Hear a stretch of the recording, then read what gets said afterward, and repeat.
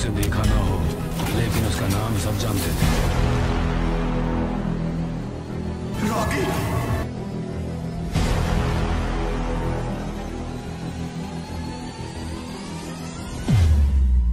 Since 1951.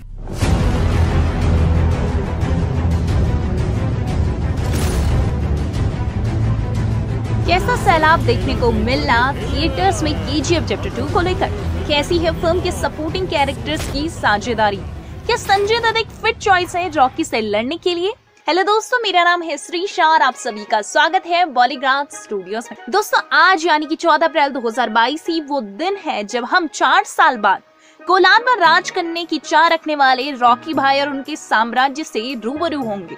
दोस्तों, film का इंतज़ार पूरे भारत को कुछ यूँ देखने को मिला कि हर थिएटर हाउसफुल देखने को मिलने वाला है। ये हम नहीं बुक माई शो वाले का कहना है। पीवीआर में भी कल बस रॉकी ही रॉकी होगा। सब जानना चाहते हैं कि क्या है। एल डोराडो का कंक्लूजन और क्या रॉकी खून से लत पर प्रधानमंत्री से मिलने पहुँचा? और क्यों इतनी बड़ी आर्मी होने के बावजूद एक अकेला रॉकी प्रधानमंत्री रामिका सेन से मिलने पहुँच गया? क्या मकसद है उसका? दोस्तों, इसका जवाब तो आप हमें देंगे कमेंट बॉक्स में। क्योंकि अगर आप एक ट्रू के फ़ैन है तो आप ज़रूर इस फ़िल्म का फ़र्स्ट डे फ़र्स्ट शो देखने गए होंगे और आप हमारे सभी सवालों का जवाब भी जान चुके होंगे। दोस्तों फ़िल्म के ट्रेलर में हमें प्रकाश राज भी नज़र आए हैं, जो विजेंद्र इंगालगी के तौर पर हमारे सामने नज़र आए। अब इंगालगी नाम सुनकर आपको कुछ याद आया होगा? जी हाँ अनंत इंगालगी, जो फ़र्स्ट पार्ट में एक जर्नलिस्ट थे। वहीं इस पार्ट में हमें एक और इंगालगी मिलने वाला है, जिसका अनंत से कोई तो कनेक्शन है।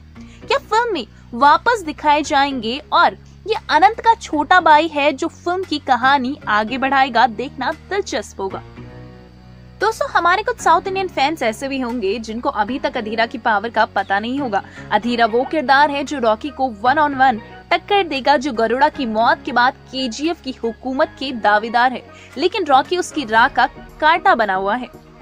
और वो इस कांटे को जड़ से उखाड़ने वाले वाला है और ये अधीरा पहले भी कर चुका है। जी हाँ अधीरा यानी संजय दत्त अपने नेगेटिव रोल्स के लिए जाने जाते हैं। जिस तरह आज आप केजीएफ की भीड़ में फ़िल्म देखने जा रहे हैं 90s के दौर में, संजय दत्त की फ़िल्म खलनायक के लिए भी ऐसी ही भीड़ देखी गई थी। तो अब समझ ही गए होंगे आप कि संजय को लेकर इतना हाइप क्यों बना हुआ है।